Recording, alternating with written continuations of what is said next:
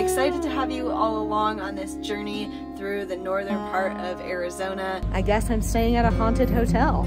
It's brilliant. A great Easter weekend out in the north and east rim of the Grand Canyon. And Breaker Breaker 19, we are on the move.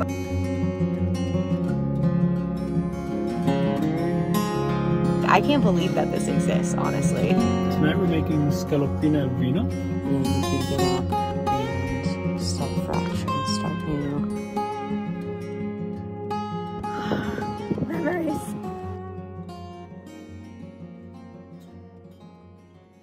Hey everybody, Anna here along with Sterling and of course Inara.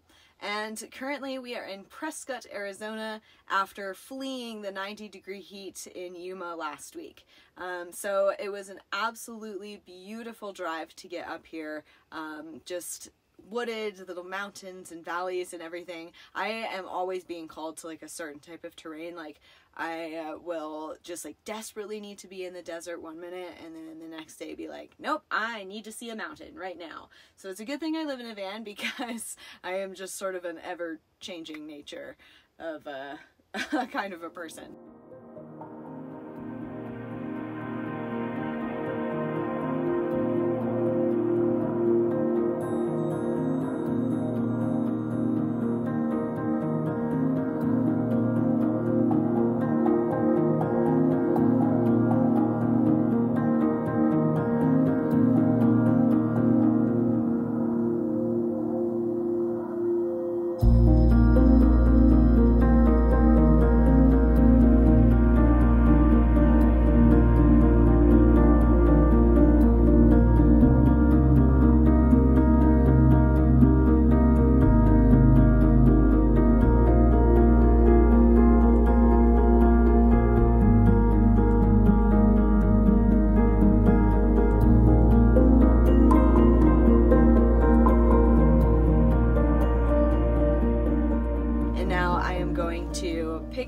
Camp. So excited to have you all along on this journey through the northern part of Arizona. Thank you for tuning in again this week, and I hope you enjoy the show. As I was packing up camp, I found this. That's not, not creepy. So Prescott is a super cute little town. Um, it has definitely a mountain town kind of feel to it. Um, you know, mountain bikes everywhere, craft breweries, um, good like organic restaurants, things like that. Um, cute little main street. I just went to the Raven Cafe, which is an organic deli with lots of gluten-free, vegan, vegetarian options. Um, I got the gluten-free lamb burger, which is super delicious. All right, just got done visiting my aunt and uncle here in Prescott, and now I'm gonna start heading north again.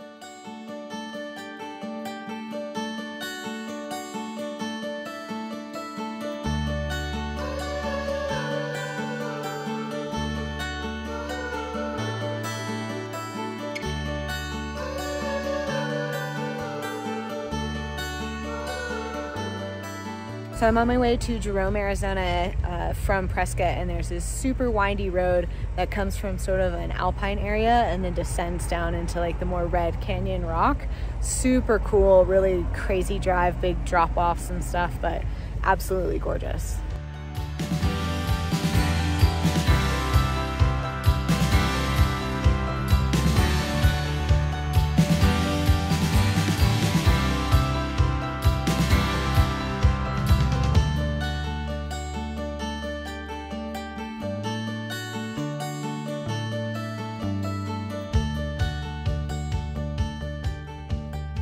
Okay, so this town is cool. It's like built directly on the side of a hill, just all these different layers. It's an old mining town and they're just like weird, cool, like wineries and like old style buildings and all this stuff. So I found a hotel that I'm hoping I can stay at. It's like this kind of old time hotel, super cool. So fingers crossed they accept pets and um, that I can stay here for the night. So they do allow pets and they have a bathtub. So huzzah, I'm gonna stay here tonight. Uh, it's an old hotel um, built in 1898 and I guess it burned down like twice before then, like the actual building itself. And so I walked past a ghost tour as I was coming out of the hotel talking about how the hotel is haunted. They were talking about the most haunted rooms and luckily I'm not in one of them. Um, but they hear like women's voices at night. There's a spectral presence that moves things around. So um, I guess I'm staying at a haunted hotel. Here we go. I will say moving stuff in and out of a hotel, always a little bit of an adventure because of my stuff, pet stuff, the actual pets themselves, which lots of people give you looks as you move a cat down the street into a hotel.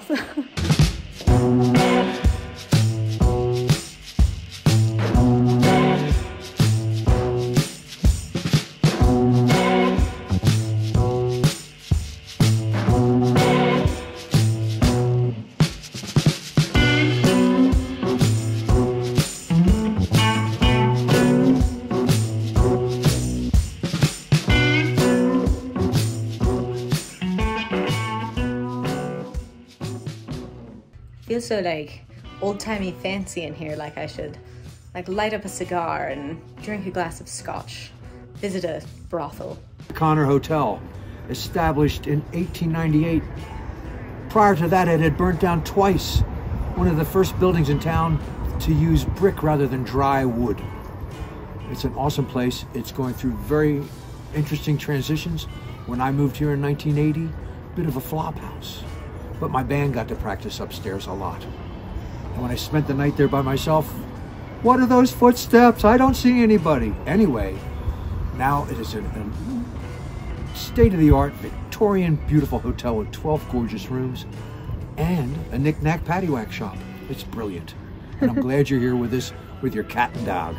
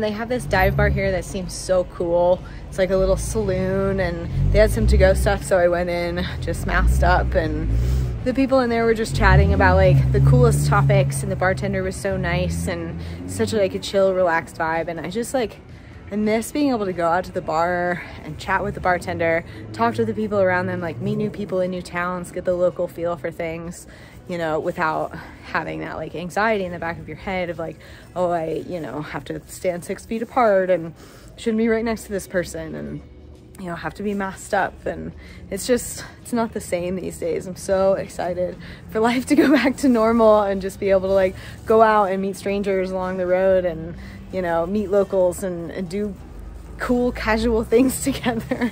I just, uh, I miss that a lot. They have free popcorn and free chocolate in the room. So it's like they know everything that I want and need right now. Genius. Highly recommend this place. Well, no hauntings last night. Uh, my room stayed ghost free.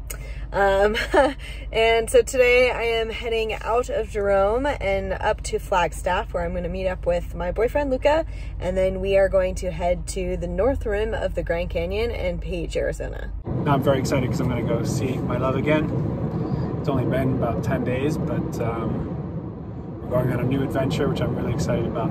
So I'm meeting up with Luca along the highway from uh, Flagstaff up to Page, Arizona. So kind of loud with the highway sounds, but I found this really amazing painted building Um, like somebody just completely did the entire thing and it's absolutely epic. Like really, really gorgeous.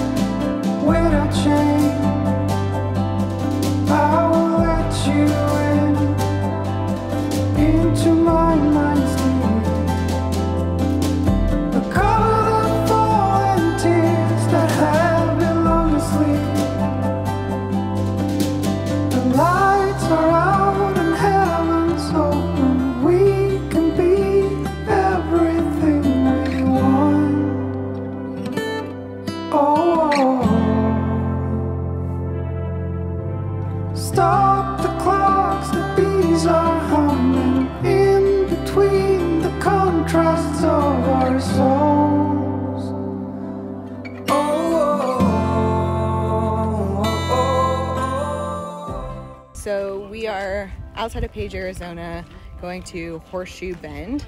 Um, this is a super popular place to take pictures and do all that stuff. So it's very, very busy here, um, but extremely beautiful.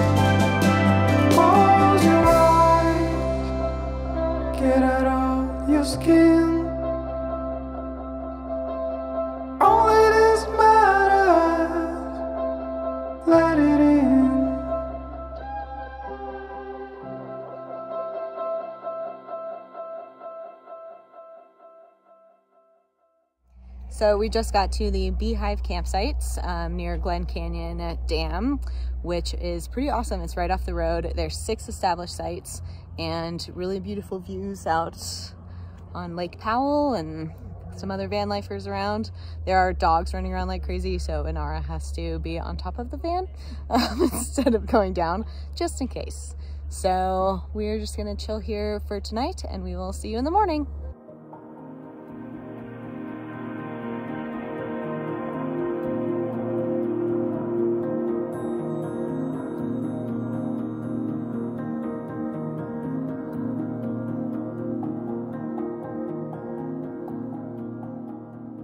Today we headed out of camp. We are at the grocery store picking up a ton of food firewood, everything to have a great Easter weekend out in the north and east rim of the Grand Canyon. The best way to caravan when you're taking two cars places, get a little walkie-talkie, can still share the uh, the fun along the way of a road trip.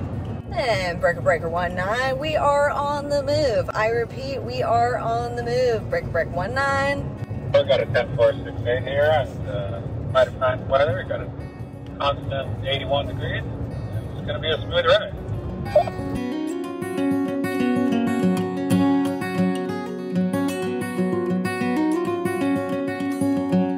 What do you think about this spot for lunch?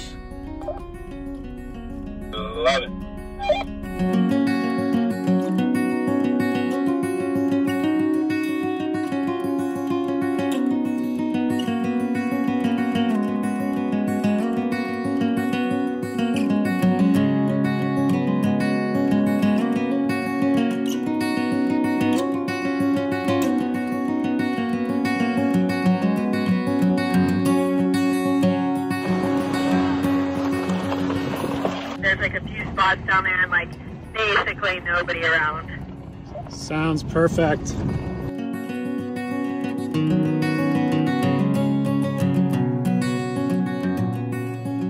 There is so, so much, like vast amounts of open land out here. Like nothing around, just trees and some mountains in the distance and a big, large field that looks like it's open, but really contains a massive crevasse. Definitely have to come back out here with the motorcycles, this crazy network of dirt roads. It'd be so fun to just like go up and explore random spots. So right here, the last mile of this road is pretty hellish, so be ready. I can't believe how she bounces along in that thing like it's a little doom buggy or something. She's just cruising along.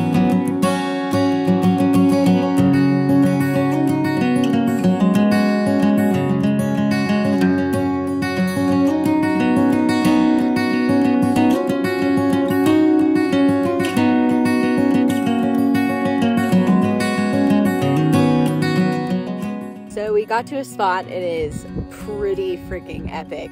Um, but instead of staying here for right now, we're gonna get our bikes out and go scout and find the absolute perfect spot.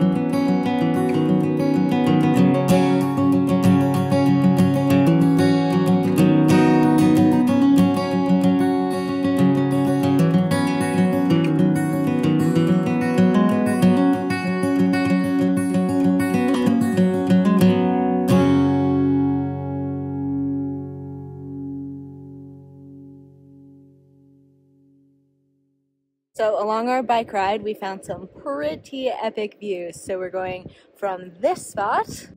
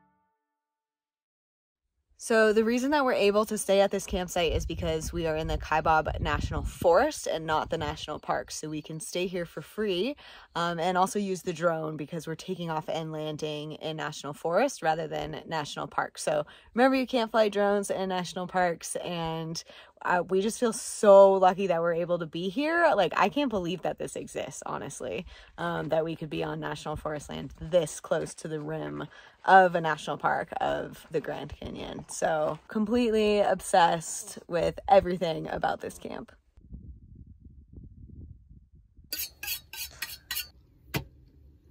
Um, tonight we're making scaloppina al vino. Uh, I had the good fortune of uh, of growing up in Italy, and well, actually, I was born in England and I was raised in Italy. I moved to Italy when I was seven. My mother's American, but my father's Italian. My grandmother's Italian. So Italy was a big influence in my life before I came to the States when I was 20 to go to college. That's what took me to Santa Fe, which is where I met Anna. So the thing about scaloppine al vino, absolutely one of my favorite dishes, um, is they gotta be really thin. So I'm trying to see if I can, ah, there it goes. Ah, I see. Actually, scaloppine al vino are usually made with veal, but I have as existential issues with veal like many of us do. So I started using chicken a long time ago. And the trick to scaloppine al vino is, ah, look at that. Nice and thin. Really nice and thin. Um, is butter. So when we make scaloppine al vino, we're gonna make a mix of butter, mostly butter and olive oil for the flavor. And we are going to put some flour. Now, um, Anna is gluten sensitive, and I tend to steer away from gluten. So we're gonna be using gluten-free flour tonight. Turns out that Anna and I have, well, we have lots in common, but one of them is our favorite herb on the planet. Rosemary. So absolutely the trick to amazing roast potatoes is just chunks of rosemary. Now some people like snip it, make it all like nice and chop it. I don't. And then you just kind of toss the potatoes and it's amazing flavor. I used to live on a boat. I lived on a boat for a year and a half, so I was a boat lifer. And um, you definitely learn what meals you can cook easily and the other ones that are a little bit more tricky. First of all, I have a, a, a cup of wine that I've set aside already, and I'm letting it warm up because most of the time we have wine in the fridge uh, because it's like a nice Pinot Grigio. We like it really, you know, nice crisp and dry, and we like it cold. But I don't want to use cold wine for the for the scaloppina. So I'm just letting it kind of warm up, room temp it next to the stove. And another important trick is to put the salt, a little bit of salt, on the chicken before you put it in the flour. Then we're just gonna take it, put it in the flour like this. Now some people put them straight into the butter and olive oil. I like to prep them all first. What I'm gonna do here is put some olive oil with olio d'oliva. Nice fair amount, you know, don't, don't be too conservative about it. And then we're gonna add some butter. You know, one of the things I love about Italian cooking is that ultimately it's super simple. Fair amount of butter. You know, the butter is really the vehicle for the flavor. And then over here I have some water boiling for the zucchini. I'm just gonna, I'm gonna, I'm gonna show you in a sec. I'm just gonna cut them really simple. I'm just gonna do these so simple. I'm basically just cutting them into quarters. And I'm gonna cook them for literally like four minutes. Um, a little bit of olio d'oliva, un po' di sale, basta. And here we go.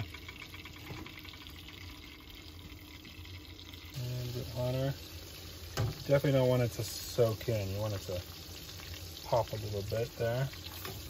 I think more civilized people would probably use utensils, but now, cooking is a very tactile experience.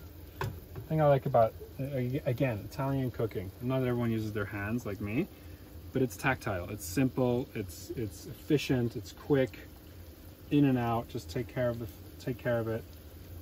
You see, okay, so you see how the edging here is starting, the chicken is starting to edge there? it's getting a little bit yellower, or a little bit paler, I should say.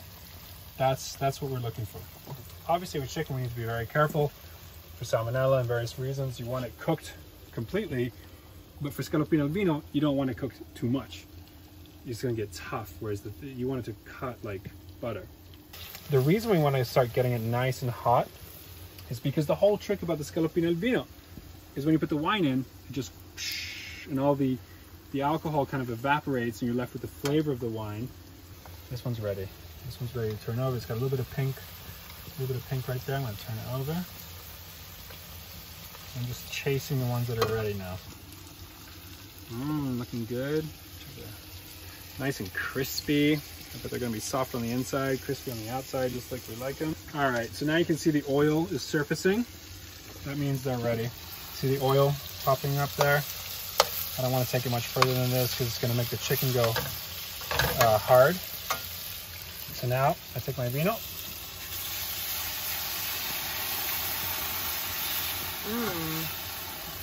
It smells very good in here. We really want it to boil. Like in an ideal world, like this would be, it would be uh, very vivacious right now. I'd like it a little bit hotter in here, but this is what we got, and I'm sure it's gonna be great. Meanwhile, let's get these out before they get soggy. These are ready. Cracked pepper, let's see. If I had some sage, if I had some fresh sage leaf, salvia, I would throw that in right now. And there's the sauces coming into that reduction. See how it's getting thicker? It takes from the flour, it gets nice and thick. So you can do the same thing with lemon. So you have some lemon juice ready to go. You do the same thing, probably not as much as the wine we put in. Uh, do the same, okay, look at that. There's that nice creamy sauce. And that's the mix really of the butter and the flour. And there it is. What was that, 10 minutes? Ready to go. Darling, we are ready to eat. Anticipation. Mmm. That's really good. I'm now on my second helping, and as you can see, it is almost gone. This is fucking delicious. I don't think I can cuss. So we definitely abide by the whoever doesn't cook does the cleaning. So I've got the van all cleaned up. Now we're gonna go enjoy the stars and the rest of our night. So we will see you tomorrow. Good night. Good morning. It is Easter Sunday and we got up with the sun this morning to do some sun salutations and just reflect upon new beginnings.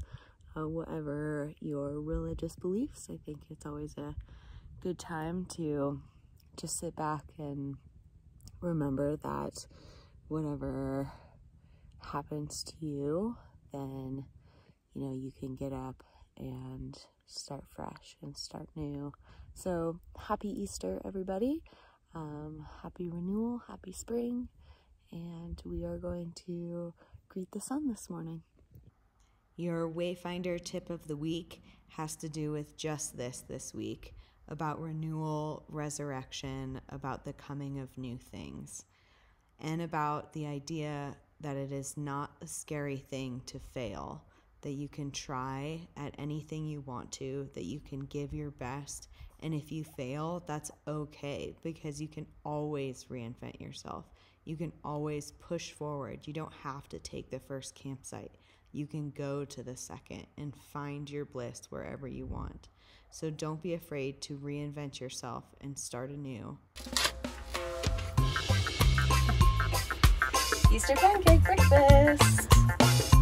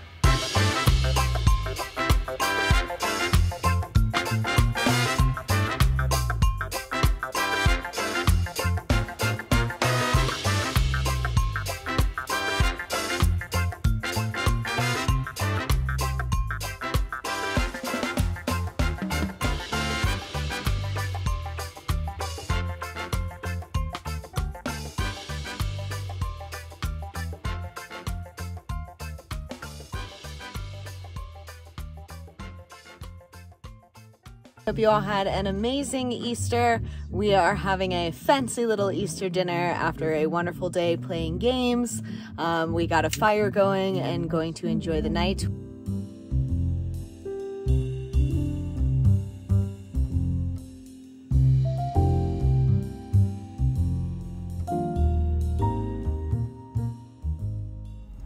So after our wonderful smoothies for breakfast, we just packed up camp. We uh, took some showers, took some Polaroid pictures, and then started heading out of camp. So very sad to leave this spot.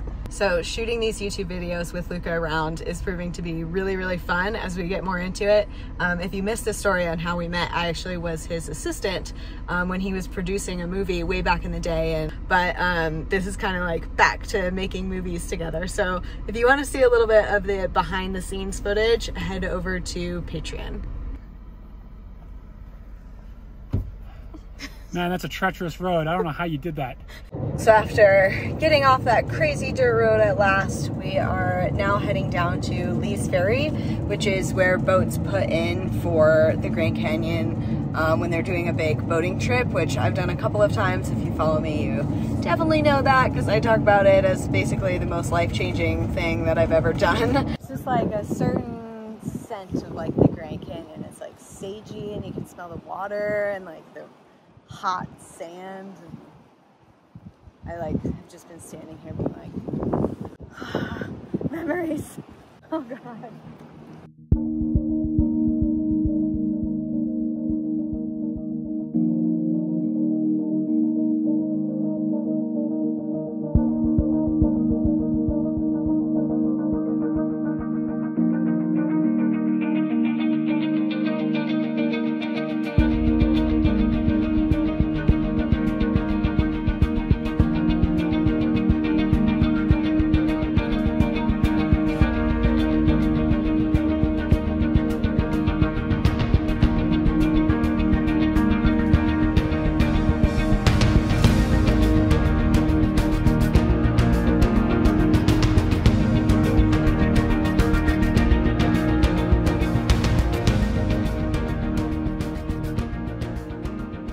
Right, everybody, thank you so much for joining us this week as I explored Northern Arizona, first on my own and then with Luca.